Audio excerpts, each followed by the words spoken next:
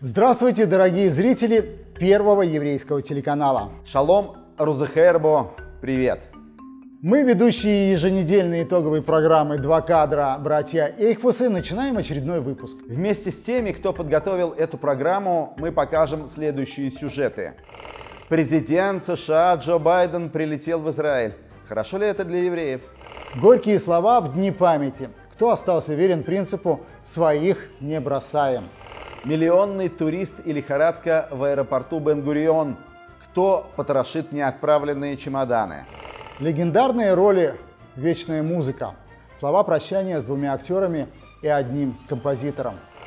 Постоянные разделы стендап-тора, недели в истории и комик недели. Интервью недели Сергей Цыгаль, московский художник, кулинар-путешественник, вдовец актрисы Любови Полищук. Один знакомый нам с тобой русскоязычный израильтянин выдал на днях такой каламбур. Байден прилетает в Израиль. Хотя событие это не шуточное. Президент США нанес свой первый визит в Израиль в рамках вояжа по Ближнему Востоку. Что ждал от высокого гостя Израиль? На что надеялись политики и чего боялись израильтяне в дни приезда Джо Байдена? Чего боялись, говоришь? Ну, наверное, огромных пробок из-за перекрытия дорог для президентского кортежа. А если серьезно, Первая встреча президента США с новым премьер-министром Израиля и политическим руководством страны несла очень большую нагрузку. Позитивную и весьма проблематичную не только для Израиля, палестинской автономии и Газы, а для региона в целом. Однако давай обо всем по порядку. Но подожди. Вот, на мой взгляд, показатель демократии, показатель либерализма и показатель дипломатии – когда Байдену показали на место, он подошел и увидел, где-то во втором ряду стоял Биби Нетаньяу. Он протянул ему руку и сказал, Биби, я тебя очень люблю. Но это вольный перевод, несмотря ни на что. И ты представляешь, как было приятно этому парню, который проиграл выборы, который сейчас находится не в самом лучшем политическом своем амплуа, получить такую поддержку. Да, вот это настоящая демократия. А еще ты видел выступление, вот это главное официальное выступление Байдена, где он перепутал а, хонор и хоррор. И хоррор. Да. И сказал, что а, надо отдавать честь Холокосту. Помню, честь и а, ужас перепутал. Ну, бывает все. Но журналисты это подмесили. Это ты правильно сказал. 13 июля, после церемонии встречи в аэропорту, президент США встретился с новым премьер-министром Израиля Яиром Лапидом. В составленной заранее программе визита главой принимающей стороны значился Нафтали Беннет. Но пока Байден собирал чемодан на Ближний Восток, в Израиле произошли изменения – распустился Кнессет 24-го созыва, назначены выборы. Правительство возглавил сменный премьер-министр Яир Лапид – Таким образом, высокого гостя Лапид встречал в Иерусалиме в двух своих ипостасях – как глава Кабинета министров и как министр иностранных дел. Внешняя политика Израиля, его сближение с арабскими соседями и расширение мирного процесса на палестинско-израильском направлении – эти вопросы Джо Байден намеревался, если не решить, то серьезно обсудить с израильским руководством. Израильскую же сторону больше всего волновало отношение американского руководства к ядерной сделке с Ираном.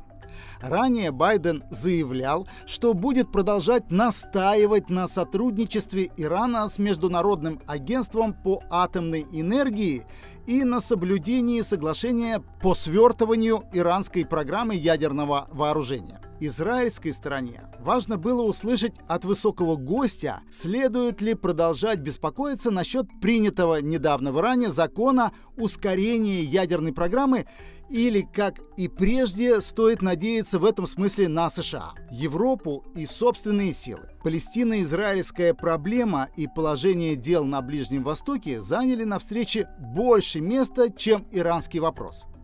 Президент США приложил максимум усилий для нормализации отношений между Израилем и арабскими странами. Роль Соединенных Штатов он видит в ускорении интеграции всех стран региона в общую экономическую систему. Именно это и обсуждалось на минувшей неделе в Саудовской Аравии на саммите лидеров стран Ближнего Востока. Какие американские интересы преследуются первым визитом Джо Байдена на Ближний Восток, можно было понять потому, как часто звучало в эти дни слово «нефть». Президент Байден еще до отъезда из Вашингтона сообщил, что власти Саудовской Аравии работают с администрацией США над расширением поставок нефти на мировой рынок и над снижением цен на нее – решение региональных конфликтов, снижение напряженности во взаимоотношениях ведущих стран региона по замыслу Байдена должны создать новую политическую и экономическую платформу. А руководить или заинтересованно наблюдать за процессами на общем Ближнем Востоке будут Соединенные Штаты. Цель поездки на Ближний Восток была сформулирована так – обсуждение стратегического партнерства стран региона, основанного на общих интересах и ответственности с сохранением приверженности фундаментальным американским ценностям. Давайте поясним и расшифруем этот кейс. В него вшиты два термина – нефть и мир. Про нефть мы уже сказали. Что касается мира, то тут у Джо Байдена есть свой взгляд на вещи. Этот взгляд не во всем совпадает с позицией израильских политиков из правого лагеря, стремящихся сегодня вернуться к власти. Президент США – приверженец идеи двух государств для двух народов. Он видит в будущем независимое палестинское государство наряду с еврейским и внутреннее соседство этих государств. США будут увеличивать экономическую помощь палестинской автономии, не забывая при этом о всемерной поддержке Израиля. Требования к Израилю по уступкам палестинцам будут сохранены или даже усилены. Коснется это поселенческого строительства в Иудее и Самарии, которое не нравится администрации США.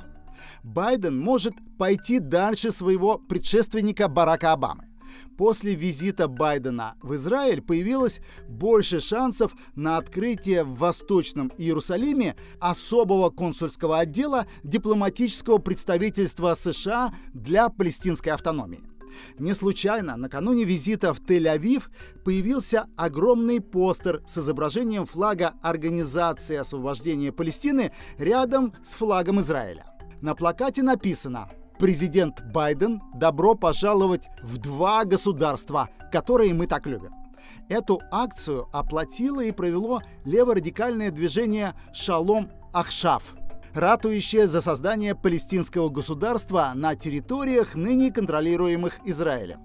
Муниципалитет Тель-Авива потребовал от руководства организации снять плакат, но в тот же день требования отозвали, плакат остался на месте. Успел ли высокий гость обратить внимание на то, что его встречали в Израиле сразу двумя флагами? Возможно, президенту США просто было не по пути, когда он ехал на стадион, чтобы принять участие в церемонии открытия Макабиады, еврейского аналога Олимпийских игр. Или когда он отправился в Ядвашем, израильский национальный мемориал катастрофы и героизма. Что из всего этого могло бы стать символом визита президента США Джозефа Байдена в Израиль? Может быть, такими приметами будут отмена рукопожатий с израильскими министрами или требование для всех присутствующих на встречах с президентом США предоставить отрицательные тесты на ковид? Не стоит гадать. Память не отпускает. Очень многим жителям Израиля, страны, пережившей немало военных дней и ночей, знакомо это чувство. Здесь не принято отмечать годовщины окончания военных действий. Здесь в такие даты говорят о потерях, о тех, кто не вернулся из боя, кто пал жертвой. Хотя девиз «своих не бросаем» знаком по другой стране и по другим событиям. В Израиле и в армии его обороны, в ЦААЛе, это тоже священный принцип о памяти, о долге, о верности. На этой неделе в Израиле говорили в разные дни и по разному поводу. Как и где это звучало, к чему вело и к чему приведет, об этом в нашем следующем репортаже из Израиля. В воскресенье 10 июля в Иерусалиме в мемориальном комплексе на горе Герцля прошла официальная церемония памяти 68 военнослужащих и 5 гражданских лиц, погибших 8 лет назад во время операции «Нерушимая скала». Вооруженное противостояние длилось 50 дней с перерывом на короткое перемирие. В ходе операции «Нерушимая скала» в сторону израильских населенных пунктов из сектора Газы выпустили более четырех с половиной тысяч ракет и минометных снарядов. Свыше трех с половиной тысяч из них разорвались на территории Израиля. 735 ракет были сбиты батареями противоракетной обороны «Железный купол». В ответ ЦАЛ атаковал свыше 5000 целей в секторе Газы, уничтожив тысячи ракетных шахт, пусковых установок и множество боеприпасов на складах, разрушив десятки тоннелей. Были убиты и ранены сотни террористов Хамаса, исламского джихада, бригады мучеников Аль-Аксы и других группировок. Из-за того, что боевики использовали для укрытий и плацдармов гражданские объекты, в секторе Газы пострадало гражданское население. Не все эти цифры и факты были приведены на церемонии на горе Герцля. Статистику операции «Нерушимая скала» решили, как и в прошлые годы, оставить военным историкам. Но много говорили о погибших, о памяти о них. Однако два выступления на церемонии воскресения прозвучали как горький упрек в адрес израильского правительства и командования армии обороны Израиля. Это привело к замешательству.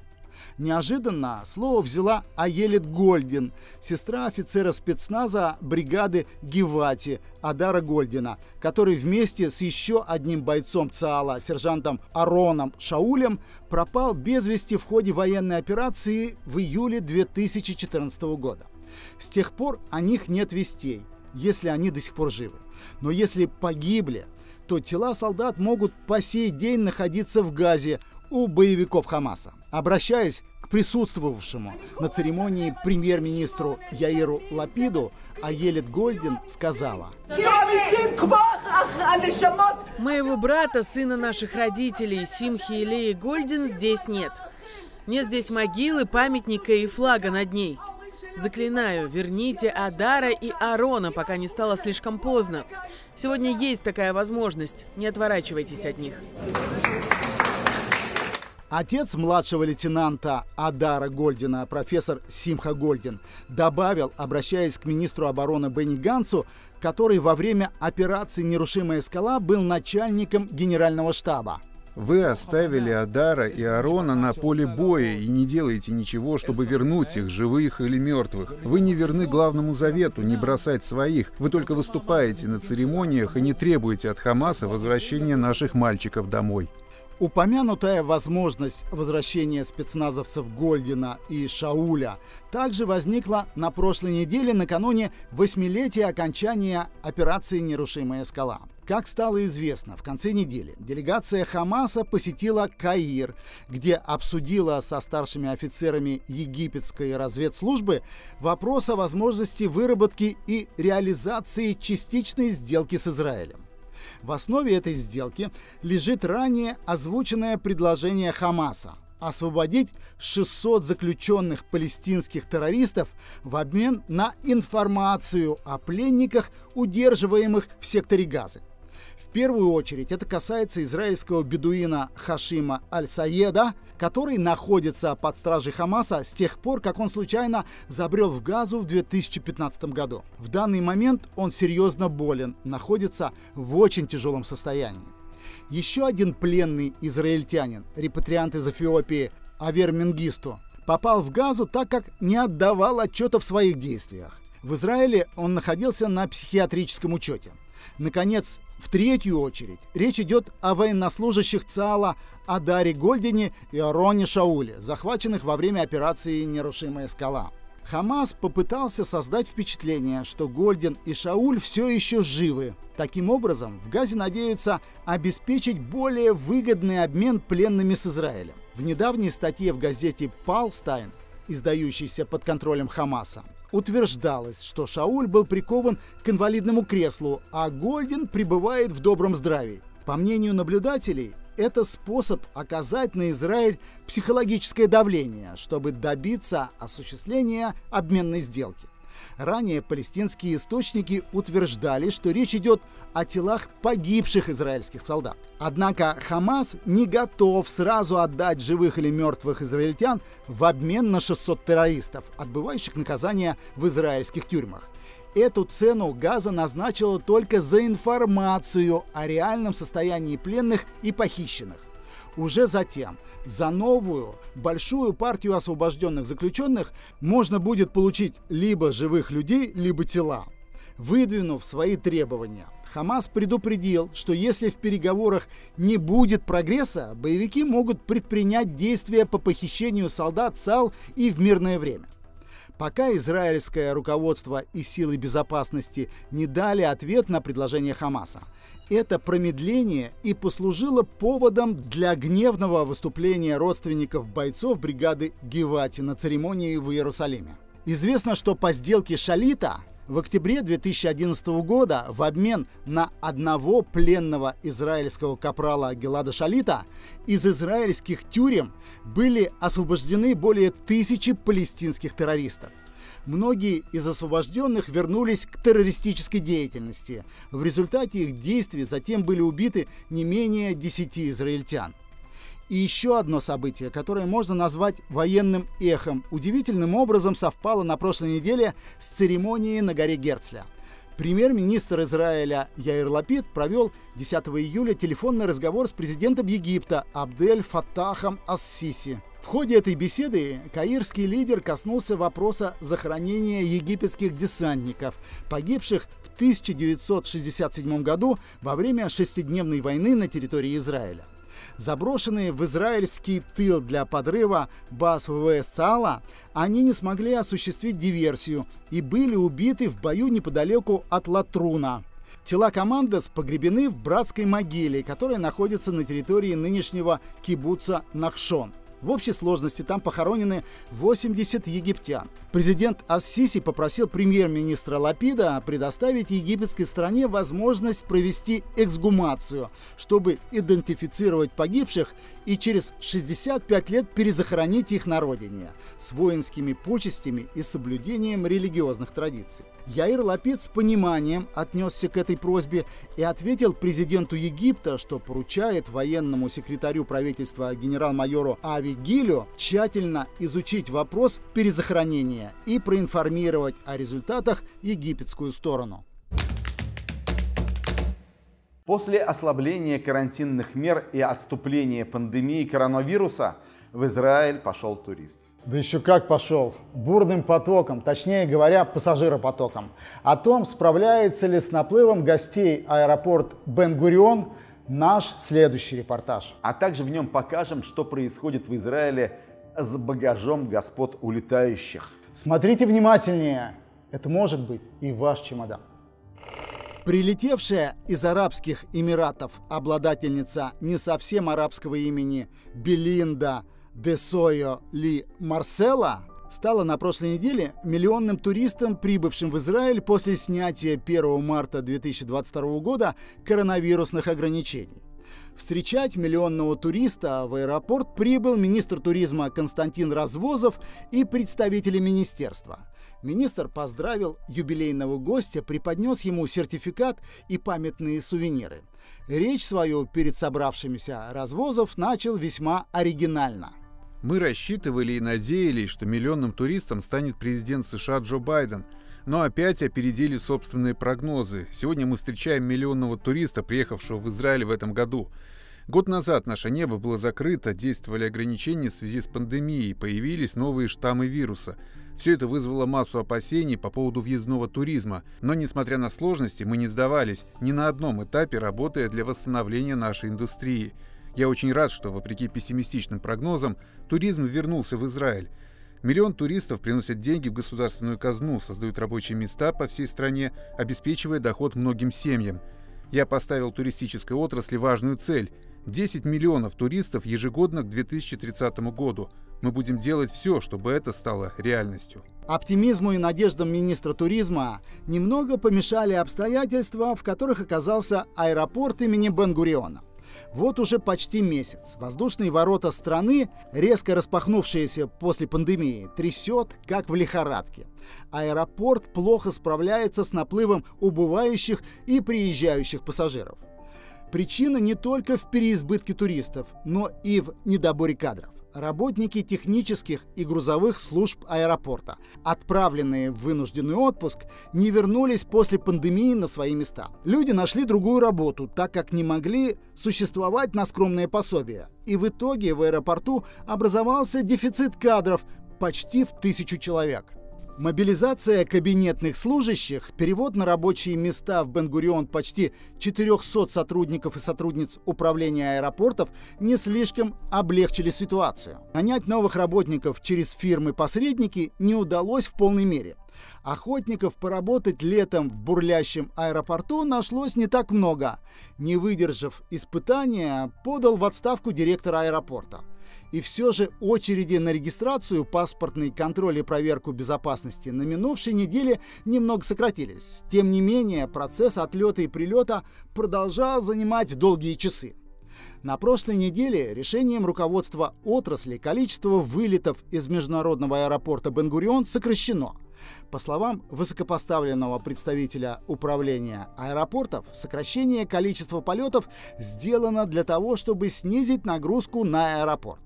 Это значит, людям, заранее купившим билеты, придется смириться либо с переносом вылета, либо с отменой рейса. Скандальное продолжение получила на уходящей неделе проблема неотправленных чемоданов, не справляясь с объемом багажа, который надо доставить в улетающие самолеты. Грузовые службы аэропорта попросту оставляли чемоданы на земле в Израиле. Внутренняя территория аэропорта была заставлена чемоданами пассажиров, не подозревавших, что их вещи не улетели вместе с ними. Многих этот неприятный сюрприз ждал уже в местах, куда они летели, в отпуск, на отдых или по делам. Оставалась надежда, что, к примеру, израильтян их чемоданы найдут по возвращении домой, а иностранцам багаж отправят позже по адресам. Но оказалось, что это еще полбеды. В середине прошлой недели в издании Мака и других израильских СМИ появилось скандальное видео, на котором некие сотрудники аэропорта потрошат чужие чемоданы. Видеоролик, где видно, как работник аэропорта разбрасывает и портит вещи из чемоданов туристов, начал гулять по сети. Из материала окончательно не ясно, для чего он или группа, в которую он входил, это делали. То ли ради присвоения чужих вещей, то ли в целях сокрытия неотправленного багажа. В аэропорту Бен-Гурион вспыхнул большой скандал. Из управления аэропортов сообщили о расследовании этого случая, выявлении виновных и применении к ним строгих административных мер. Одного из потрошителей чемоданов уволили и предупредили о передаче дела в полицию. Было подчеркнуто, что злоумышленник был из числа тех, кого срочно наняли через посредническую фирму. Но людям, с чьими личными вещами поступили так коварно и жестоко, от этого не легче. Пострадавшие пассажиры обдумывают вариант подачи коллективного иска. Аэропорту имени Бенгуриона, еще недавно считавшемуся одним из лучших в регионе и входившему в десятку международных лидеров, придется отвечать за доставленные пассажирам неудобства. О том, какой урон престижу самого аэропорта нанесен за эти летние месяцы, в Израиле стараются помалкивать. Неохотно признаются руководители отрасли и в грубом административно-хозяйственном и кадровом просчете, почти парализовавшем работу крупнейшего транспортного узла. Видимо, значительно приятнее рапортовать о миллионном туристе и возрождении важной и прибыльной туристической отрасли. Ведущий нашей постоянной рубрики «Недели в истории» уже готов начать свой интересный рассказ. Слово эрудиту Николаю Лебедеву. 75 лет назад, 10 июля 1947 года, на свет появился один из наиболее ярких артистов отечественной эстрады и телевидения – последнего десятилетия 20 и первого десятилетия 21 века Илья Львович Олейников. Соавтор Юрия Стоянова по всем известной телевизионной передаче «Городок». Она не выходит уже 10 лет после смерти Илья Львовича Олейникова. Но память о ней также свежа, я думаю, как и еще 10 лет назад. Илья Олейников, можно догадаться, что родился он под другой фамилией, а именно его фамилия была Клявер. Родился в Кишиневе, в обычной такой мещанской семье. Этот район назывался Мамайка. Потом в одном из интервью Илья Львович говорил, что я родился в такой район, там жили в основном какие-то бандитского типа евреи. На что э, интервьюер, который давно его знал, говорит, ну вот это как раз для тебя подходит. Значит, он родился в, через два года после войны, вот в этом самом Кишиневском бандитском районе Мамайка. Отец его был шорником, то есть специалист по изготовлению различных изделий из кожи и имел свой ларек на Кишиневском рынке. Можно представить себе такое бесшабашное послевоенное нищее детство, всякие хулиганские компании. Сам Олейников говорил, что учился в школе я крайне плохо, не испытывал тяги ни к точным, ни к естественным, ни к гуманитарным наукам, а потому решил стать артистом, считает, что артисту знания наук и особая образованность вообще не требуются. И, как это не покажется парадоксальным, так оно на самом деле и оказалось. Получать театральное образование он поехал в Москву и поступал в эстрадно-цирковое училище, которое не давало высшего образования, как, например, театральные, собственно, вузы, такие как ГИТИС, школа-студия МХАТ – Щукинское и Щепкинское училище давало только среднеспециальное образование. Там готовили вот как раз в основном цирковых артистов, и таким второстепенным направлением была подготовка артистов эстрады, то есть там разных эксцентрических певцов, пародистов, конферансье и тому подобное. Когда он приехал поступать, первый человек, с которым он познакомился, был невысокого роста, носатый юноша, как он описывал сам Олейников, державшийся с невероятным опломбом. Как оказалось впоследствии, это был Геннадий Хазанов, который сказал Олейникову, что, говорит, поступать приехал, но, говорит, не поступишь. Тут, говорит, конкурс 100 человек на место. И тем не менее, они оба поступили и учились на одном курсе, вот как раз по линии эстрады. Окончив училище, Олейников некоторое время работал конферансье. Его пристроили в конферансье, в ансамбль к популярному тогда музыканту, одному из основоположников отечественного рока, его предтеч Юрию Саульскому. А Олейников отличался такой, тогда еще клявер точнее, нескладная такая высокая фигура и неловкий. И он вышел на сцену и умудрился повалить все восемь прожекторов, которые стояли на сцене. После чего и долго извинялся, потом их подбирал, зрители на это смотрели. После чего Саульский сказал ему, можете, молодой человек, завтра сюда не приходить.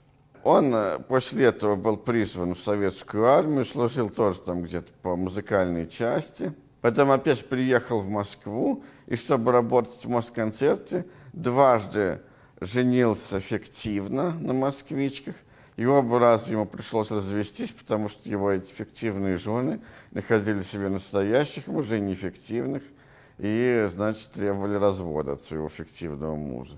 И после второго фиктивного развода он вынужден был уехать домой в Кишинев, и по линии вот этой молдавской филармонии – работал в разных провинциальных городах, преимущественно в самой Молдавии и на Украине. И в одной из такой поездок в город Славянск Донецкой области, который сейчас известен тем, что там ведутся активные боевые действия. В то время это было никому неизвестное такое захолустье провинциальное – там, значит, он был конферансье, ведущим концерта, и познакомился со своей будущей женой, которая уже стала его третьей женой и первой настоящей неэффективной. Она была э, ленинградка, а приехала в этот город Славянск на практику после окончания института. Они, когда встретились, она принадлежала к такой интеллигентной ленинградской семье, собственно, его жена Ирина Олейникова. И когда она представляла своего будущего мужа своим родителям, значит, ну, теща была не в восторге, мягко говоря, от него. И потом дочь спрашивает, ну как тебе? Он говорит, ну так себе. Говорит, а то, что он еврей. Говорит, но на фоне остальных его недостатков это еще терпимо, сказала теща. Тем не менее, они поженились, у них родился сын, известный сейчас музыкант Денис Клявер, который раньше выступал в составе дуэта «Чай вдвоем» со Станиславом Костюшкиным. Потом этот дуэт распался. Ну и сейчас он довольно известная личность на музыкальном небосклоне нашей страны. А Илья Олейников, тогда все еще клявер, нашел себе партнера для выступлений в лице артиста тоже Ленинградской филармонии Романа Казакова. Ну, надо сказать, что он был такой же Казаков, как Клявер Олейников. Настоящая его фамилия была Бранштейн. И талантливый актер такой, сейчас его мало кто помнит, но я, например, с детства помню различные там. У них была рубрика пародии на спортивные репортажи в популярной программе «Утренняя почта». И самый знаменитый у них был скетч, когда, э, значит, э, э, интервью как тренера со спортивным журналистом, и вот этот самый тренер в исполнении вот этого Казакова, настоящей фамилии которого была Бранштейн, всегда говорил, вопрос, конечно, интересный. Вопрос, конечно, интересный. И вот это выражение «вопрос, конечно, интересный» вошла, так сказать, в повседневную речь миллионов советских людей после этой передачи. К сожалению, в самом начале перестройки, в 1986 году, вот этот артист Роман Казаков Бронштейн скоропостижно скончался, и Илья Львович остался без партнера.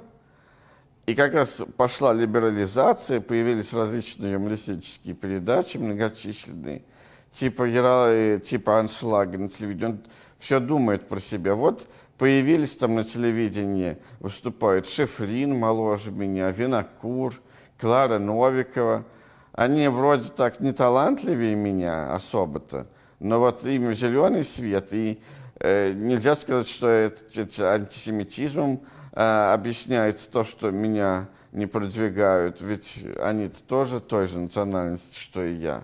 И вот как-то у него все не складывалось, не складывалось, но, видимо, э, это еще зависело от того, что он жил в Ленинграде, а не в Москве, потому что только в масштабах Ленинградского областного телевидения мог блистать, а те, кто жили в Москве, те, конечно, имели возможность сниматься в общесоюзных передачах типа «Аншлага».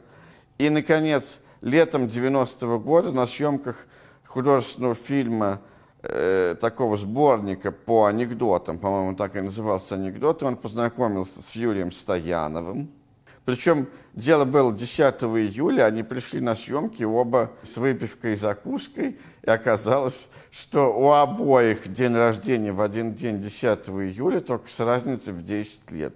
Олейников родился в 1947 году, а Стоянов в 1957 году. И, кстати, когда он работал еще с Казаковым, ему Винокур посоветовал все-таки взять псевдоним, и он вот стал Олейниковым, взяв фамилию жены, а жена так и осталась Клявер, и сын Клявер, а он стал Олейников.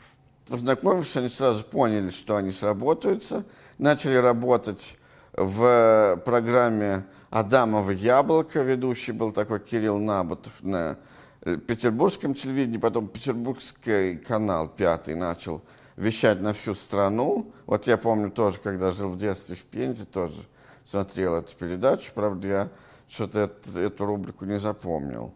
А с 93 -го года начала выходить программа «Городок», которую, я думаю, все, кто старше, более-менее э, детсадовского возраста знают и помнят, хотя она не выходит уже 10 лет. По сути своей, э, программа «Городок» представляла из себя инсценировку различных анекдотов или каких-то комических ситуаций, по большей части анекдотов.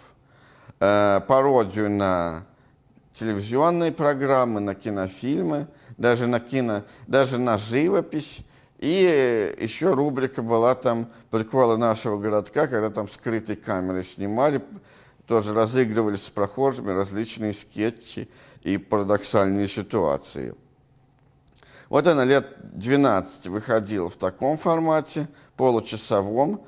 Э, раз в месяц выходил новый выпуск на канале «Россия», а между ними каждую неделю показывали старые выпуски. Потом где-то в середине 2000-х годов стала выходить передача «В городке», еженедельная. Уже каждую неделю нужно было делать новый выпуск. Она была восьмиминутная, более укороченная. И переиграли. Ну, конечно, Стоянов может показаться зрителю более ярким актером. Он, видимо, таковым и являлся. На самом деле, особенно многим запомнилось его исполнение женских ролей – такое очень талантливое проникновение в женскую психологию. Но и Илья Львович, конечно, тоже старался держать марку. Именно вот в таком соавторском партнерстве у них получался делать такой выдающийся качественный продукт. Илья Львович, к сожалению, много курил и умер от рака легкого осенью в ноябре 2012 года.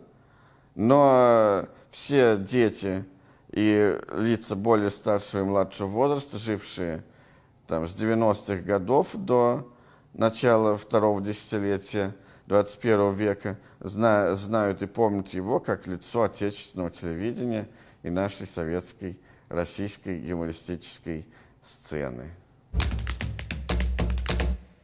Виртуальные жених и невеста, виртуально поздравляем вас с заключением виртуального брака – и желаем виртуального счастья на долгие виртуальные годы.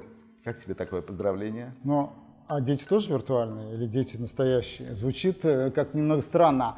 Но, как оказалось, на уходящей неделе оно вполне жизненно и законно. Суд в Израиле вынес вердикт. МВД обязано признавать браки, заключенные в интернете. То есть такие браки в Израиле уже заключались, а теперь их должны будут признать государственные органы. Именно так. О том, как судебное решение может повлиять на решение проблемы гражданского бракосочетания в еврейской стране, наш следующий репортаж. В израильском городе Лот суд Центрального округа вынес решение, обязывающее чиновников Министерства внутренних дел регистрировать так называемые ютские браки – Речь идет о церемонии бракосочетания, впервые введенной в американском штате Юта во время эпидемии ковида. Там сделали возможной регистрацию брака путем видеоконференции в программе Zoom. Заключить такой брак в государственном органе штата Юта могут граждане США и любые иностранцы. Достаточно провести верификацию документов, брачующихся, по заверенным и отправленным в Юту копиям.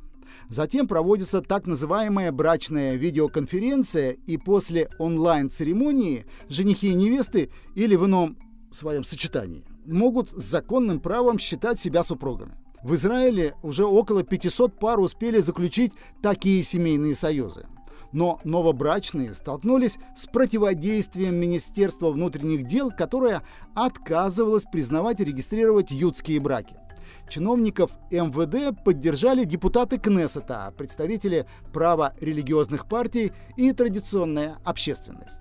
Однако теперь, после решения окружного суда, основанного на более ранних постановлениях Высшего суда справедливости Багац, МВД вынуждено признавать браки, заключенные в США при помощи Зума.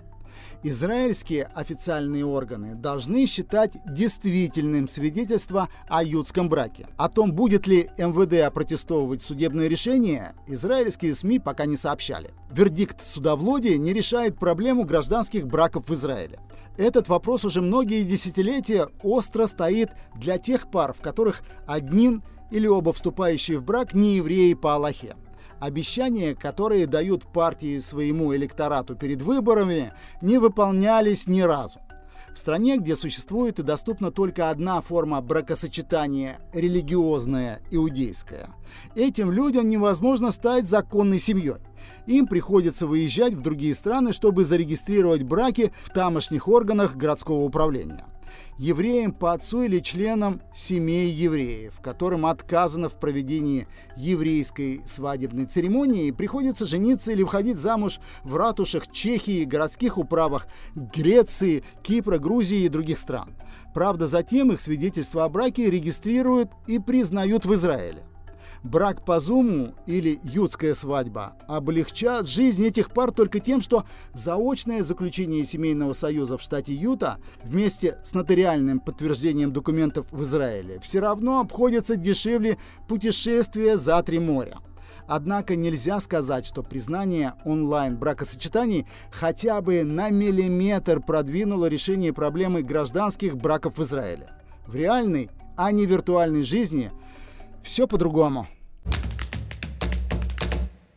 И снова о еврейских потерях недели. Все трое этих людей имели прямое отношение к миру кино и прожили с искусством долгую и плодотворную жизнь. Каждый из них имел еврейские корни в России, хотя жили и умерли они в совершенно разных странах. О двоих из покинувших мир на минувшей неделе можно сказать, и герои, и произведения могут о многом сказать любителям детективов и криминальных драм. О третьем могли бы рассказать его дети и внуки, наследники и продолжатели актерской династии. В США ушел из жизни американский актер Джеймс Каан, известный по роли Сони Корлеоне в фильме «Крестный отец». За эту роль актер номинирован на премию «Оскар» и «Золотой глобус». Помимо «Крестного отца», Кан запомнился зрителям по фильмам «Люди дождя», «Игрок» и «Вор». Джеймс Амунд Кан родился и вырос в Бронксе в семье еврейских иммигрантов. Среди его одноклассников был Фрэнсис Форд Коппола. Кан женат четыре раза. Одна из его жен – Шейла Мари Райан, бывшая муза Элвиса Пресли. Актеру было 82 года. В Англии в возрасте 94 лет скончался Монти Норман, еврейский композитор, автор саундтрека и всей музыки к 24 фильмам о Джеймсе Бонде.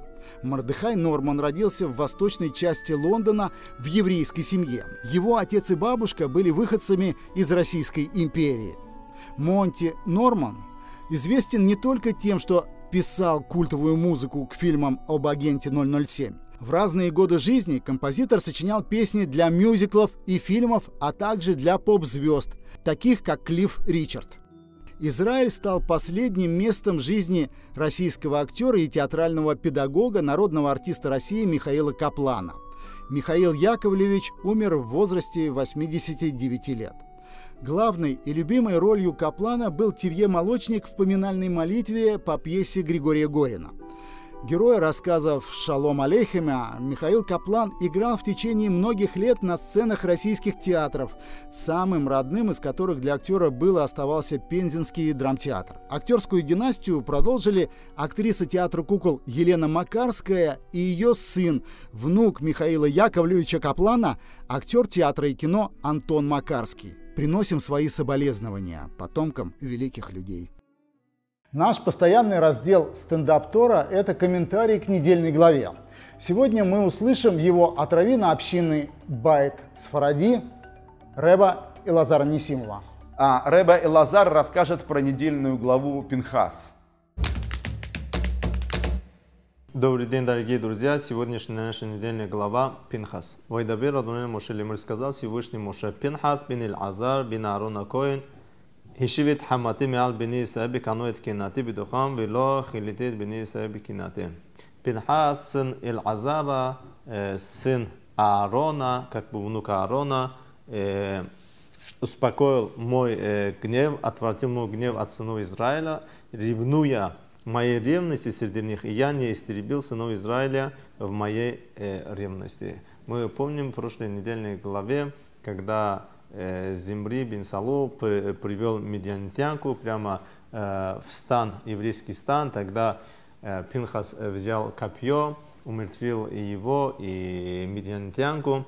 И из-за этого э, Всевышний здесь теперь говорит, что вот из-за этого случая он разгневался на еврейский народ, хотел уничтожить полностью, а Пинхас э, его, успокоил его гнев, и в итоге Всевышний не уничтожил еврейский народ. Мы видим здесь Пинхас э, написано маленьким юдом. Одна буква в Пинхасе, она маленькая. Это говорит о том, что Пинхас до этого события был никто. На самом деле э, с Аарон был коином, его сын Эль-Азар тоже был, был, э, был коином. Когда Всевышний приказал, что потомки Аарона будут коинами, уже э, Пинхас тогда уже родился, и это не касался Пинхаса. Всевышний, э, значит, сделал коинами чет, э, э, четверых э, сыновей Аарона и самого Аарона, а те, кто уже их дети, они не были коинами. И после того, как они стали коином, и после них, которые родились дети, они уже были коином. А до этого э, дети, которые были у них, они не подбатали под этот статус. И Пинхас тоже до этого был никто. И жена Иль-Азара э, был из потомков, э, значит, тестя Муше, из потомков Итро. Поэтому так сильно его э, не любили, и никто не обращал на него внимания. Он был э, таким э, человеком, что никто не замечал его, поэтому написано буква Юд маленький, показать, что он был э, э, э, маленьким, что никто э, не обращал на него э, внимания. А после этого события Всевышний возвеличил его и дал ему э, статус, и он стал вечным э, коином. На самом деле, если мы увидим в законе, коин, который кого-то убил, он не имеет права благословить народ. Но здесь на, наоборот, э, человек, который не был коином, из-за того, что убил кого-то, он э, получил статус э, коина. За то, что он э, возревновал э, из-за Всевышнего, убил э, этих э, двоих. И написано, что мой гнев отвратил от э, народа Израиля. И каким образом он отвратил гнев э, Всевышнего от народа Израиля? Ведь мы знаем, 24 тысяч э, человек умерло, когда было это событие, Всевышний начал умертвить народ. Оказывается, вот эти 24 тысяч были выходцы из Египта, не евреи, египтяне и другие народы, которые присоединились к евреям. Всевышний умертвил их. И здесь можно э, увидеть, на иврите написано грамматически «Миаль бен Исраиль», как бы от э, народа Израиля. Если он отвратил гнев Всевышнего от народа Израиля, значит, э, здесь можно понять, что от них никто не умер. А кто же это 24 тысяч? Получается, что это Эреврав, это инородцы, которые э, вышли с еврейским народом. Лахин мор хинин нотен ло эт брити шалом. Поэтому скажи им, я заключаю с Пинхасом мой союз, мир. Шалом – это мир. Наши мудрецы говорят, что вот в слове шалом вав она разделена – есть э, в букве ВАВ трещина. Обычно она бывает прямая палочка, а здесь она разделена э, на две части. Это в Сефирторе тоже, Свитке Торы пишется так. Почему, э, на что это намекает? Это намекает на то, что когда Пинхас сделал это действие, когда он умертвил этих грешников, и встал, встал колено э, Шимона, э, хотели убить Пинхаса, от испуга у Пинхаса отлетела душа, Пинхас э, на время умер. И когда его душа отлетела, э, были две души сыновей Аарона, Надава и Авио, которые не попали э, в другой мир, э, э куда должны были попасть, им нужно было вырваться как-то, и они присоединились к душе Пинхасу, и верну, душа Пинхаса вернулся обратно в тело, и э, Пинхас ожил. И с этого момента э, в Пинхасе было, был, было два, две души. Душа Надава и душа и Авиу. И поэтому э, еще одна причина того, что он заслужил стать коином, именно потому, что и духовная составляющая Пинхаса теперь э, была коином, потому что четыре сына Аарона они были коинами, теперь их души в Пинхасе, поэтому он заслужил э, быть э, коином. והייתה לו זרעו אחריו ברית כהונת עולם תחת אשר כני לאלוהיו וחברי בני ישראל. И будет ему и его потомству вечным союзом, и все его потомства будут э, коинами среди еврейского народа. Вишем Исраэль, Хамуки Ашир Хукайт Бедянит Земри Бин Сарло, Нисевит Ав Лашим Ауни Вишима Иша Мука Медянит, Козби Ватсу, Рош Умот, Бет Ав Бемедян Ху. Имя убитого израильтянина, который был сражен вместе с медианитянкой, Земри бин Сало, глава отчего дома в колене Шимона, а имя убитой медианитянки Казби, дочь Сура, главы племен отчего дома в Медиане. Мы видим, насколько медианитяне ненавидели еврейский народ, что э, чтобы ввести э, в грех еврейский народ, и чтобы посредством этого евреи получили наказание от Всевышнего, а, э, царь даже послал свою дочку, чтобы развратить народ. Вайдабир Адунай Моше Лимор Сарорет Медианим Викитим Отам. Господь сказал Моше, тесните медианитян, поражайте их, ибо они ваши враги, чинившие против вас козни в деле Пиора и в деле Козби, дочери вождя Медиана, их сестры убиты в день мора из-за Пиора. Вот мы видим э, и здесь приказ еврейскому народу, чтобы они уничтожали э, медианитян. И про египтян не написано такое, а про медианитян написано, потому что египтяне все-таки они хотели э, уничтожить еврейский народ физически, а медианитяне хотели разрушить основу еврейского народа, они хотели уничтожить их духовно, поэтому они э, хотели развратить народ, и посредством этого, чтобы они получили наказание. Поэтому такой приказ от Всевышнего, э, чтобы э, они уничтожили э, медианитян, чтобы их поразили. А вот что было после мора, Господь сказал Моше и Лазар, сыну священника Аарон, сделайте переписи общины сынов Израиля. И после того, после этих событий, когда все улеглось, Всевышний приказал, чтобы подсчитали народ, потому что Всевышнему очень важен э, еврейский народ. Конечно, он знал, сколько их там осталось, но э, для того, чтобы показать э, свою любовь к еврейскому народу, что для него важен каждый э, человек, каждая душа, он сказал, чтобы они пересчитали весь э, народ. Вот мы здесь видим, э, основной здесь герой Пинхас, в итоге мы сказали, получил э, первосвященство и получил священ, священнослужение, и его потомки, и он э, получил э, вечный союз, это бессмертие.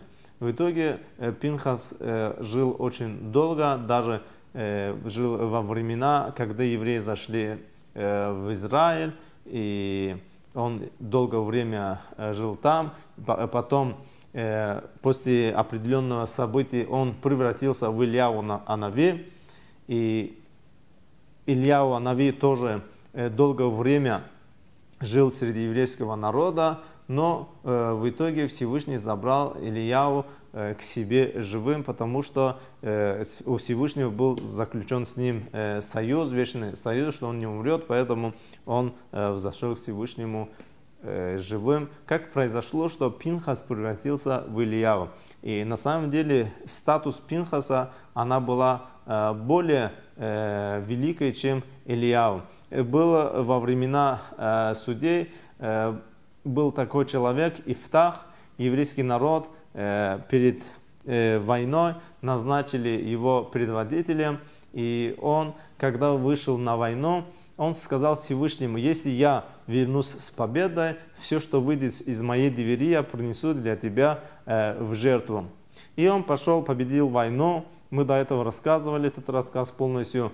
И в итоге и он победил, когда возвращался домой, э, вышла его дочка встретить его Первое, что он увидел из его двери, выш, вышла это его дочка, поэтому э, пришлось ему принести свою дочку э, в жертву. Есть разные э, мнения. Он принес дочку в жертву. Есть мнение, что он построил для нее замок и поставил, поселил ее, в этот замок, и она до старости лет жила там в одиночестве. Как бы не было, на самом деле он дал обед. Этот обед можно было отменить, но должен был быть глава еврейского э, суда. В то время глава еврейского суда был э, Пинхас, он жил в другом городе. И э, Ифтах, он, можно сказать, что был царем, а Пин, э, Пинхас был главой еврейского суда. Пин, Ифтах не пошел к Пинхасу, чтобы он отменил его недер. Если бы Ифтах пошел к Пинхасу, то Пинхас мог бы отменить недер, э, и в итоге Пинхас, э, Ифтах не пошел к Пинхасу и погубил свою дочь из-за гордости, и он тоже получил свое наказание, что он в итоге заболел тяжелой болезнью, и в каждой, каждом городе, когда он бывал, э, отваливались части его тела, его тело гнило. И написано, что Ифтах был похоронен в городах Израиля. Что значит в городах? Что вот его, каждая часть его тела похоронен в разном городе. И Пинхас тоже мог бы пойти несмотря на то, что Ифтах не обратился к нему, он сам мог бы прийти к Ифтаху и, э, и разрешить эту проблему и отменить его обед. Но Пинхас тоже не пошел, что он сказал, почему я, глава Верховного суда, должен пойти к нему, он, он сам пусть обращается. В итоге Пинхас тоже получил свое наказание, он преобразовался и стал Ильяву Анави и начал э, пророчество, э, стал пророком, пророком Бога. Это мы видим, э, что двое человек за то, что они немножко э, не э, уступили друг другу, получили в итоге свои э, наказания. Но как бы не было, однажды, если Всевышний сказал, что будет вечный союз, будет жить э, э, вечно, то это так и есть. И в итоге Илья, он не умер, он поднялся живым на небо. И когда написано, что придет Машех, предвестником Машеха станет Ильяу. Ильяу придет, объявит, что этот человек Машех. И многие истории есть, что Ильяву э, иногда время от времени приходит к определенным людям, к мудрецам, обучает их. Вот это событие, то, что э, Пинхас возревновал э, и обратил гнев э, от сынов Израиля, гнев э, Всевышнего, э, в итоге он получил такую э, награду. Вот это наша недельная глава Пинхас. Вопрос о том, может ли кот служить своему хозяину в качестве навигатора в автомобиле, мы сейчас попробуем решить. А для этого с помощью постов и видео из израильских соцсетей соединим наши традиционные рубрики «Комик недели» и «Котик недели». Сотрудники дорожной полиции Иерусалима остановили автомобиль, водитель которого говорил по мобильному телефону в ходе движения, что запрещено правилами. Но каково же было изумление полицейских, когда они заглянули в салон машины. Внутри не было ни одного кресла, включая водительское. Сам водитель восседал на перевернутом ведре, а по всему свободному пространству салона по-хозяйски расхаживал большой пушистый кот. Водитель сначала на отрез отказался покидать свое ведро и выходить из машины. Потом все же вышел и быстро прикрыл дверь. В ответ на требование предъявить права шофер заявил, что документы где-то внутри, но он боится снова открыть дверь, так как может убежать кот. Но сбежал в итоге не кот, а человек. Смекнув, что дело пахнет керосином, водитель впрыгнул в салон машины, плюхнулся на свое ведро и дал по газам. Котовладельцу и ветросидельцу удалось уйти от погони. Его пустую брошенную машину нашли в нескольких километрах. Спустя пару часов водитель явился в полицию с повинной. Оказалось, что у этого 23-летнего жителя Восточного Иерусалима вообще никогда не было водительских прав. На руках у него был все тот же пушистый кот. Большой художник. Это определение очень подходит человеку, давшему на этой неделе интервью двум кадрам. И дело не только в том, что Сергей Цыгаль высок и строен, а какая борода у него. Он действительно большой российский художник, чьи работы находятся в музеях и галереях по всему миру. Наш собеседник – выходец из большой и знаменитой семьи. Имена его родных известны всем – Мариэта и Мирель Шагинян, Виктор, Владимир и Александр Цыгаль. Это писатели, художники и скульпторы. Жена Сергея Цыгаля была народная артистка России Любовь Полищук. А еще у него есть племянница, известный модельер Маша Цыгаль. Я ее, кстати, недавно встретил в книжном магазине. И дочь актриса Мариэта Цыгаль-Полищук. Но если мы будем перечислять всех этих знаменитых членов семьи, что мы оставим тогда для нашей замечательной беседы с самим Сергеем Цыгалем? Итак, наше интервью с художником и актером Сергеем Цыгалем. Но я хочу с Божьей помощью, без Раташем, а, проанонсировать интервью, которое будет через неделю. Это интервью с шикарным Алексеем Кортневым. Мы очень если, ждем его. Если все срастется, это будет шикарнейшее интервью. Очаровательный, интеллигентный, такой спокойный, спокойный парень. Сергей Викторович Цыгаль, московский художник, кулинар, путешественник. Родился 6 декабря 1949 года в Москве. Мать Мирель Шагинян, художница. Отец Виктор Цыгаль, художник, академик Российской Академии Художеств. Семья Цыгаль происходит из Одессы. Дед Ефим Давидович Цыгаль был инженером-строителем, учился во Франции. Сергей Цыгаль окончил географический факультет МГУ в 1973 году. Затем Московское высшее художественно-промышленное училище, бывшее Строгановское, в 1986 году. Член Московского союза художников. Участник выставок с 1980 года. Работы Цыгаля находятся в музейно-выставочном фонде Министерства культуры России, в Музее современного искусства, в Государственном музее Эквадора, а также в частных коллекциях России, Финляндии, Франции, Германии, Великобритании, США, Израиля, Японии, Мексики и Швеции. Дед Сергея Цыгаля Яков Самсонович Хачатрянц, филолог, переводчик с армянского языка, бабушка Мариета Шагинян, писательница. Дядя Владимир Цыгаль, народный художник СССР. Двоюродный брат Александр Цыгаль, скульптор. Двоюродная племянница Маша Цыгаль, модельер. Жена Любовь Полищук, народная артистка России. Дочь Мариэта Цыгаль-Полищук, актриса. Внук Григорий Сердюк родился в 2010 году. 16, сейчас 16 лет с 2006 года, да, прошло? Ну да. 16, 16 лет. Да.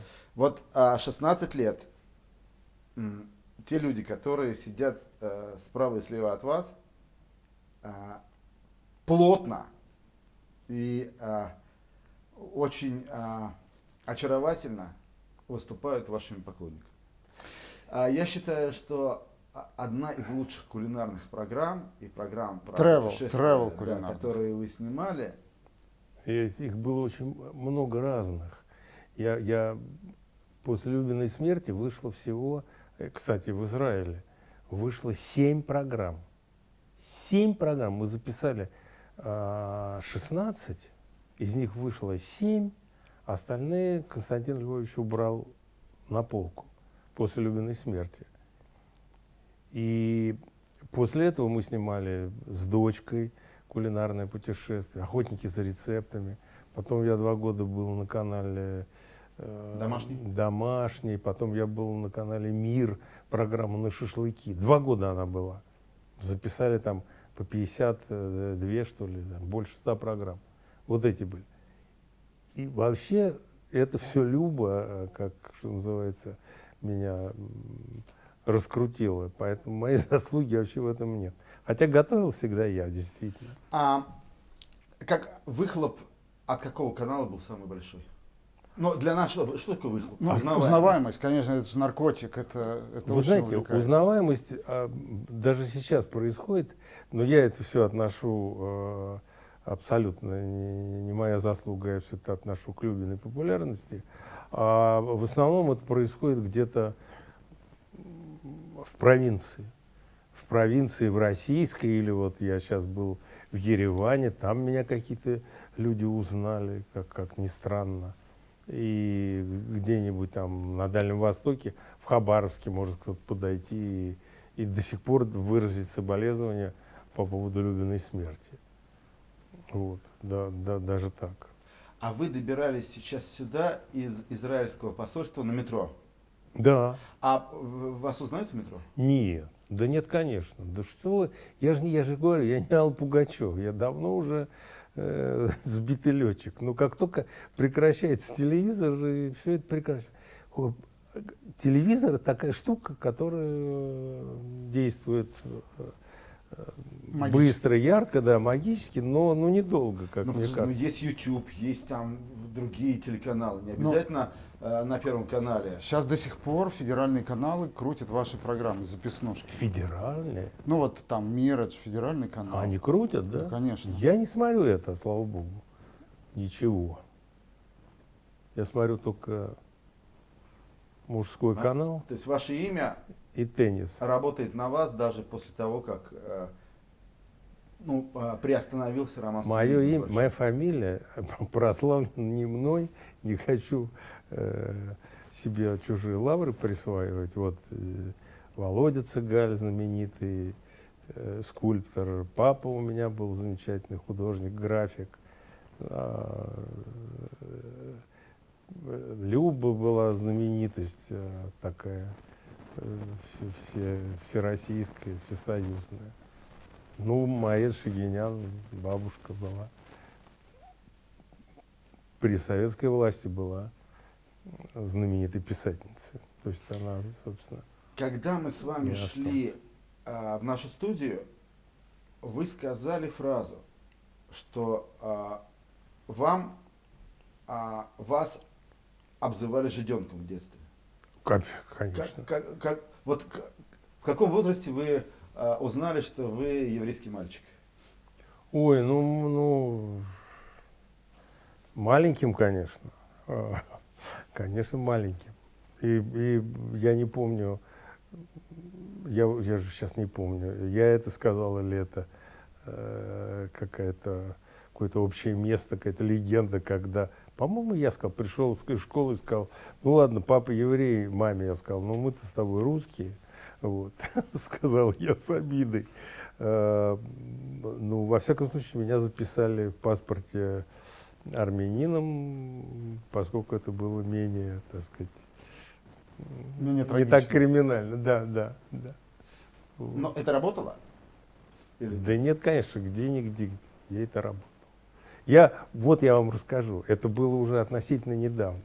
Где-то то ли в 20 году, а, в, в 2000 году, то ли в 99-м, мы с мамой были а, по приглашению замечательных людей в Марокко. У, меня, у них там была такая студия, они приглашали, мастерская. И мы работали там, полтора месяца жили в центре э, Маракеша.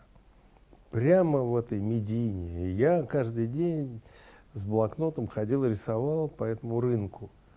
Все время рисовал. И все эти торговцы, я с ними торговался, там какие-то кожаные сумки, что-то там покупал, какие-то вещи. И уже через какое-то время мне махали рукой говорили, Али Баба, Али Баба, борода, усы, Али Баба. Ну, Али Баба я приветствовал. Али Баба, Али Баба. И так продолжалось целый месяц. И вдруг я услышал «Шалом, Али Баба». То есть они очень хорошо отличают даже там. А уж тут-то... Ну ничего, мальчик. Среди евреев тоже хорошие люди бывают. где вы родились, в каком районе? В Москве. Вы Я московский родился- мальчик. Я московский, я родился в Кремлевском роддоме в Денежном переулке. И родился я под утро. И папа сказал медсестре, «А, если б- будет девочка, то не будите меня. А если мальчик, то разбудите. Дело в том, что сестра моя родилась в 41 году, и отца не было а, в это время. А, поэтому бабушка и маму сделали ее Шагинян. И вот мы родные брат с сестрой, она Шагинян, а я цыгаль. Потому что в сорок девятом году, когда я родился, папа уже с фронта вернулся, и уже он был здесь, и поэтому я цыгаль. Вот. А дочка моя, а, Мариетта Цыгаль, которая Мариетта Сергеевна полностью по имени и отчеству э, тезка бабушки Мариетта Шагинян, она не Шагинян, она была всегда Цыгаль, и после маминой смерти она взяла э, через дефис э, фамилию мамы, и она э, Цыгаль Полищук. Вот, так что вот у нас так все. А из э, эм, роддома Кремлевского вас привезли куда? А я, это рядом, в переулке. Мы в Плотниковом жили. Плотников переулок. Угловой дом, диетический магазин. Там сейчас и бабушкина мемориальная доска, и у нас еще в угловом подъезде жил Папанин, который на льдине э, э, дрейфовал, э, великий географ. Там стоит сейчас памятник Акуджаве Франгуляна. Ну вот туда меня и привезли. Я думаю, что даже прикатили это рядом, метров 200. А он стоит прямо на Садовом, да? Кто? Акучева. Нет, он стоит на Арбате. На Арбате. А, На да, Арбате. извините. Арбате, У Арбате. Франгуляна Бродский стоит на, На- да, Бродский, на да, Садовом да, да, и извините, да, да, дальше да. еще памятники. Просто я думал, может быть, второй где-то. Нет, нет, э, нет. вта- Нет, нет, Второй памятник. один, один. А Куджаве один. А Куджава там рядом. И Рыбаков там заходил к нам, кстати, Анатолий Наумович. А вы учились 10 лет в одной школе? Или меняли? Я, больше того, я начал в Коктебеле ходить в школу. я пошел в школу, поскольку я декабрьский, и 7 лет мне исполнилось в декабре, то а, а мама меня дала там школу. Родители художники, они задерживались долго в Крыму, и поэтому э, а я с ними был. И меня отдали в школу там. Единственное, что маме удалось тогда, я помню, ей удалось э, всех брили наголо под машинку, а я был кудрявый мальчик, и она э, попросила разрешения меня не брить, и я остался кудрявым. И я ходил там в школу первую четверть первого класса. Вот. Потом уже мы э, в октябре, в ноябре уехали, и я уже стал ходить в Москве в 58-ю школу. Да, проходил там все 10 лет. А, а, вы уехали позже из-за того, что сезон там продолжался, да, летний, из-за этого? Нет, из-за того, что родители работали. Им какой сезон? Они работали.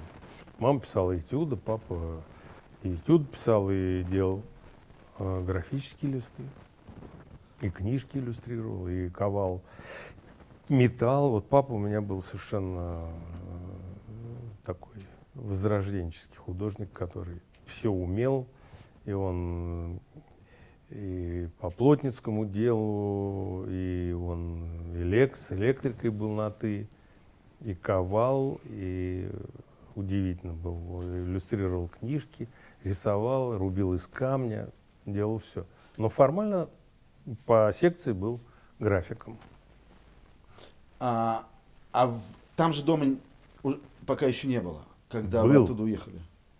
Как был? А вы пошли в школу, вы 39, э, 39 года. 49-го. 49 извините. А вы сказали, что дом появился в 47-м. Да. А в 7 лет, ну, вот только, Вообще- только дом появился. Вообще историю могу рассказать. Я это сто раз рассказывал, но, но дом появился так. Э, Марья Степановна Волошина, там в Максимилиана дом, да, Максимилиана Волошин, да. Александровича, да. Мгм. Марья Степановна Волошина, которую я звал Маруся и был с ней на «ты», поскольку она, я там рос в этом доме, и мы, семья была, э, всё- всё- она потом все свое, так сказать, личное имущество завещала маме. А с бабушкой Мария ты гуляла по Коктебелю, переходя через мостик. Там стоял такой вот э, об двух комнатах с крыльцом с земляными полами, домик без забора, без ничего. Она сказала, Марьета, купила бы ты дом. А я не останавливаясь, прошли через мостик до шоссе, прошли налево по улице Ленина до сельсовета. И бабушка совершила подлог. Она расписалась за маму. Она написала не Марета Шагинян, а Мирель Шагинян. Марья Степановна Волошина продала, а Мирель купил. Бабка сказала, сделаю подарок дочке к окончанию э, Суриковского института. И сделала подарок за пять тысяч рублей. Тогда мама сказала, после войны пять тысяч рублей стоила пара хороших женских туфель. Вот за, за такие деньги у нас э, э, имение в, в Крыму. А у Волошина большой дом был? Ну, у Волошина какой был, такой и остался. Он э, стоит, музей. Там у, Маруси была мастерская, две комнаты, столовая. То, что осталось за ней. Остальное э, Макс завещал э, Литфонду. И туда приезжали писатели, а потом стали строиться вокруг. Расстроились, и была большая территория, разделенная на две части. Была Ленинградская территория, ну, условно. Там жили писатели ленинградские, была московская территория.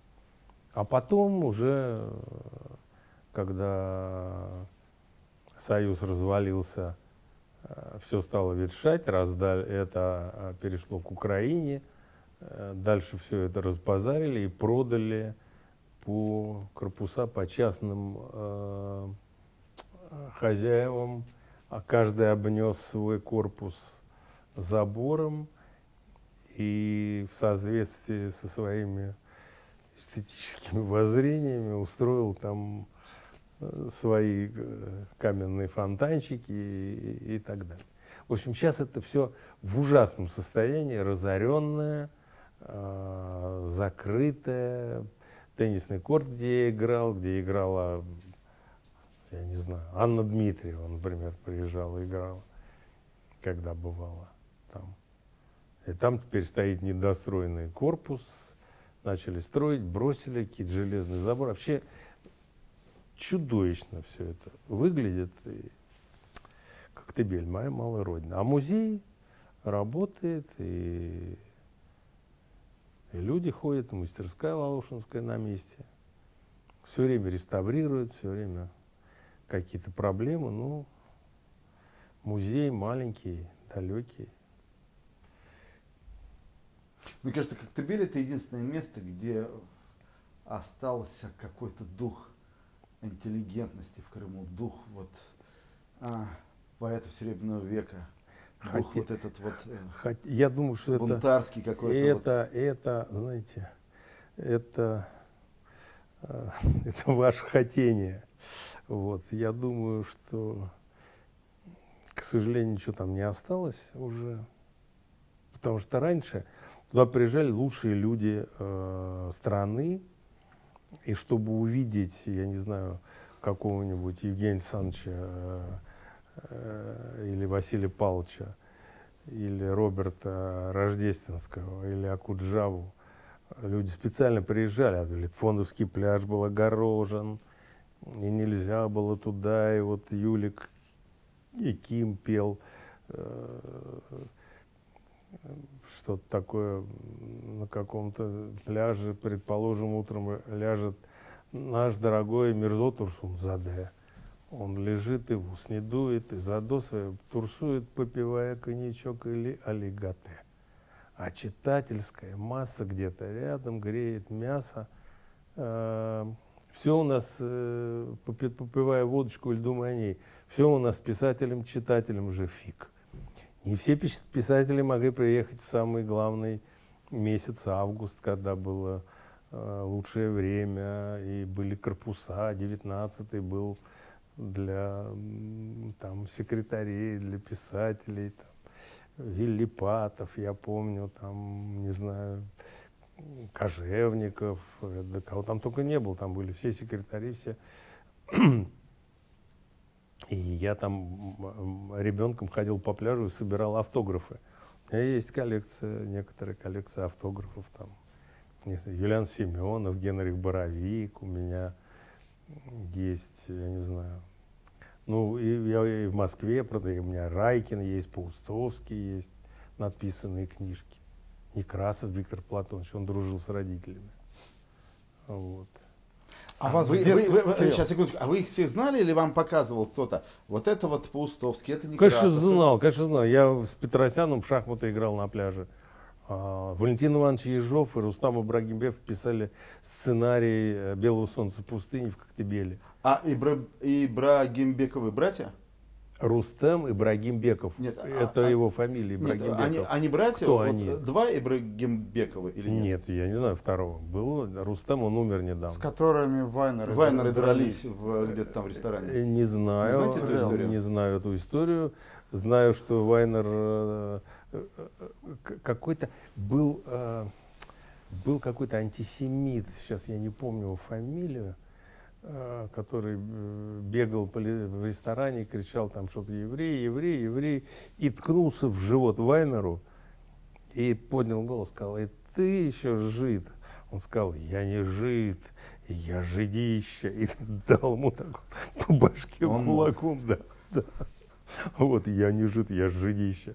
Валька Тур рассказывал. Нет, ну всех я знал, конечно, я не знаю, кто-то у нас дома бывал. Э, вот мама дружила с Евгением Санычем. И мы как-то даже вот довозили до Симферополя на машине. И он приходил к маме там на день рождения когда-то. Ну, Белла Ахат у нас дом бывал в Коктебеле. Это тоже я помню. И Фазиль Искандер приходил. И, ну, ну, конечно, всех мы знали там. А, а получается, что вы все каникулы школьные проводили? Конечно, конечно, сразу в мае туда и после школы, и все лето там. Я поэтому и в университет пошел, потому что я сидел в лягушачьей бухте и ловил рыбу. Э, на скалке сидел и ловил зеленушек там, и бычков маленьких. И решил, что я хочу стать ихтиологом. И, в общем, почти стал. Но университет закончил. А, а почему вы... я и сказал, извините, почему я и сказал, что большие художники это э, художники, которые начинали с, с детства, которые с детства рисовали, которые ходили в Московскую художественную школу, потом, потом поступили в Суриковку или в Строгановку, закончили и когда это все произошло, я в это время в университете. Я говорю о своих ровесниках. Или кто-то там чуть старше, чуть моложе. И потом они э, всю жизнь, так сказать, занимались э, профессией и, и стали народными художниками, академиками, там, лауреатами всяких премий. Там, я не знаю, вот профессора, на, вот Наташа Нестерова, Таня Назаренко – вот Саша Рукавишников, вот Переславец, вот больших, Митя Тугаринов, замечательный скульптор, брат мой Алик, народный там академик, секретарь. Ну, большие э, художники, которые э, много сделали и всегда в профессии. Я в это время занимался вообще неизвестно чем. И после э, университета я, правда, там от подходил в рейс и по всяким экспедициям поездил и полгода провел в Индийском океане. Мне вот так этого хватило этой профессии. Я свинтил, и папа строго сказал, я даже поступил с ювелиркой э, в молодежную секцию Союза художников. И, в общем, мог бы и уже на этом успокоиться.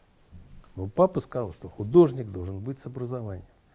Железной рукой отвел меня в зоопарк, я рисовал там вот Белашов был э, скульптор, анималист. Вот он меня туда отвел, я там рисовал. И после этого занимался рисованием перед поступлением в Строгановку. В 80-м году только, в 30 лет, я поступил э, учиться и закончил через шесть.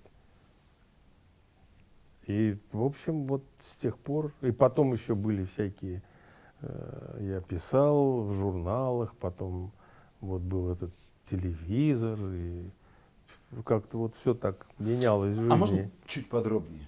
Да. Вы а, закончили 10 классов. Да. А когда вы а, начали подумывать об образовании и почему МГУ, ну понятно, что это лучшее образование, блестящее, почему геофак, как это вы, А вы в- к этому пришли? После девятого класса в 65 году меня учительница биологии отвела в девятом классе. Она меня отвела в, на биофак в университет, на кафедру ихтиологии. Ва- вас одного? Или это была экскурсия? Не, меня она отвела, поскольку я вот хотел этим делом заниматься. Она меня отвела к своей знакомой, Ключеревой Ольге Александровне, покойной ныне. А, Она там работала. И я там сидел, вскрывал какие-то желудки, корюшки дальневосточные и, и даже какую-то статью написал. И после этого, после девятого класса, меня взяли в экспедицию а, на Южный Сахалин. Я в 65 году на Ту-104 летел на Южный Сахалин, вот так вот, знаешь, как лягушка, которая прыгает. Он же э, самолет такой, э, магистраль, он так пэмс, пэмс, пэмс, пэмс. На дозаправку? Ну, конечно, 100 остановок было. Всяких там, я не знаю, Екатеринбург, там, э, Красноярск, Благовещенск, Хабаровск. Да, да, Южный Это Сахалин. без, роди- без родителей. Без я один. То есть это первое была ваша Да, большое 15 путешествие? лет, да, да. Да. А Это вы была помните моя- его? Да, конечно. Какая была ваша функция? Я был э, в экспедиции э, э, скат молоди горбуши. Значит, э, моя функция была такова. Э, Через э, бурную горную речку, такую ледяную, был натянут трос закрепленный. А там на трассу было несколько точек, три или четыре. Ну, на, по ширине реки. Она была не глубокая, но очень э, бурная, бурная. Значит, надевался водолазный костюм, прям настоящий, но под горло. То есть голова была открыта, потому что э, да, ты не, нырял, и ты прищелкивался какой-то фиговины к этому тросу. И такая есть сетка кинолева, она называлась у нее такая а, рамка прямоугольная и довольно длинная мотня. И вот, значит, в темноте, а это происходило через каждые, по-моему, 4 часа, а иногда какие-то были э, специальные дни, по-моему, раз в неделю надо было делать каждые 2 часа. И вот ночью, днем, вечером, ну вот особенно ночью было занятно. Когда ночью прешься в этом во всем на трассу через речку, и там втыкаешь эту сетку и держишь ее. И в нее должна попасть. А в нее попадает, да, в нее попадает рыба. И ты должен это э, держать какое-то определенное время. Я сейчас не помню, 30 секунд, там, 20 секунд, минут, ну что-то такое. Потом ты ее вынимаешь, э, тащишь на берег, развязывается мотня, и в таз высыпается вся рыба. Ее нужно посчитать. Это вот такие мальки, они ночью в это время. Но это же архисложная Нет, ничего тема. там. Нет, Для сложно. взрослого сильного человека. Нет, ничего там сложного нет. Ну, я все-таки был уже, сколько мне было, уже 15 лет. Я помню, что я там выпил стакан сучка. Это была водка, сучок. У меня стакан налили, я его хлопнул. Вот, было дело.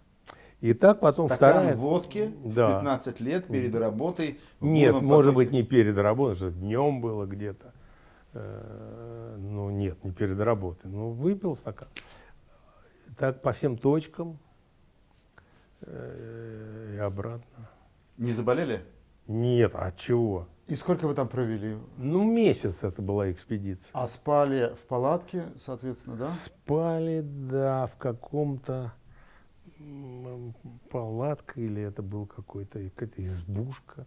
А машкара, комары, вот это вот все. Ну, конечно, маскара, комары, ну. Нет, вот я был еще э, в университете в Черневой тайге в экспедиции. На практике мы описывали растительность, потому что я, я поступал, кстати, на биофак, не получилось. Там надо было химию сдавать, физику, я математику. В общем, не сдал я экзамен. туда. Расстроились? Не, не помню, чтобы я сильно расстроился, но на следующий год я поступил на географический факультет. Он был биологический, а это был географический на кафедру э, биогеографии. И вот его, значит, эту кафедру я закончил. Но мне разрешили в порядке исключений писать курсовые работы по, по рыбам. Я писал по плавательному пузырю, и диплом потом писал по паразитам лососевых рыб. А вот то, что вы, вы дел- сделали публикацию в девятом классе, когда корочки животы вскрывали, Да. она, эта публикация, а, пошла в зачет при поступлении? Да нет, конечно. Да нет, конечно. Ну как, куда? Какой зачет? Я вам скажу, когда я поступал а, в Строгановку на вечернее отделение, а, и да, и поступил, то там была дисциплина история партии, если помните. Помню, такое. конечно. Вот. История КПСС. Историк КПСС. И я пришел э, к этой даме э, вот с такой халой на голове и сказал, вот смотрите, я закончил университет и сдал кандидатский минимум по философии, потому что я там уже собирался писать диссертацию. И сдал кандидатский минимум. Может быть, можно меня освободить от, еще раз от вот этой учебы? Она сказала, да, в МГУ сильная была, э, сильная кафедра, да, я знаю, там э, сильные преподаватели, и там история партии э, на хорошем уровне преподается. Но вы закончили а, МГУ в 73 году, а сейчас 80-й год. За эти 7 лет прошло два съезда и много партийных конференций. Наука, история партии не стоит на месте, она движется вперед. Поэтому изволь, иди и сдавай. А чем вы занимались этот год э, а, между, м, а, между первым поступлением и вторым? Я пошел работать э, в Всесоюзный э, институт в НИРО такой есть, кстати, он здесь рядом, на Верхней Красносельской улице, Всесоюзный научно-исследовательский институт. морского рыбного хозяйства и океанографии. Он чуть ли не старейший инс- институт в стране. Он, по-моему, 17 года. И в нем я работал. И после... Это тот, который около тройки Ашана на э, трешке, на Верхней Красносельской. Ну, он ближе сюда. Да. Он вот от метро, если Мгм. э, дойти до метро и повернуть направо, подняться наверх немножко, с правой Да, стороны, вот да. он. Мгм. Да, вот он старинный институт. И там я работал младшим лаборантом в э, почему-то в лаборатории экономических исследований, где было место. И платили мне зарплату, как сейчас помню. Это был 66 год. Мне платили зарплату 45 рублей. Такая зарплата не облагалась налогом. Значит, мне платили в зарплату, в аванс мне платили 22 рубля 50 копеек. И потом ровно 22 рубля 50 копеек платили в получку. Но, но это же мало было. помо- Ну, мало. Вообще ничего. А, а родители помогали? Ну, конечно, я жил с родителями В Плотниковом переулке. в Плотниковом переулке. Арбат, дом 45, квартира 9. Дробь 24, квартира 9. Подошла к концу наша сегодняшняя программа. Мы прощаемся с вами, дорогие друзья, на неделю до исхода будущей субботы. Смотрите, слушайте, лайкайте, пишите комментарии. И самое главное, оставайтесь на Первом еврейском канале и следите за двумя кадрами. Ваше внимание – это наше все. А теперь финальный котик без хозяина самостоятельно, так сказать, на Первом канале. Thank you.